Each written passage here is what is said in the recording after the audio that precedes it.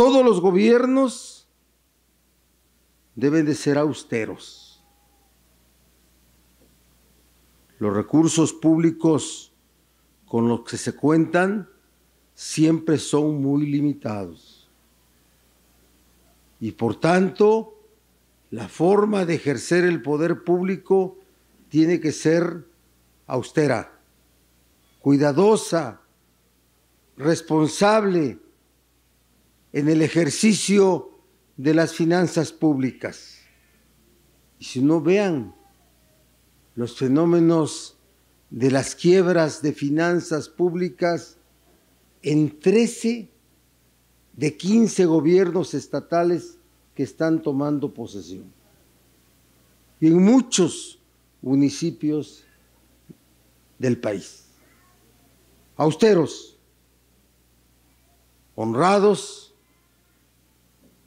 y transparentes. La formación de los gobiernos debe ser esa, aquella que respete y promueva los derechos humanos. No nos apartemos. Y para respetar los derechos humanos tenemos que utilizar como instrumento de gobierno a la ley. Y tenemos que aplicar la ley. Debemos aplicar la ley. Aplicar la ley para formar políticas públicas esas que les he mencionado de combate a la pobreza y disminución de la desigualdad. Y también aplicar la ley a los corruptos.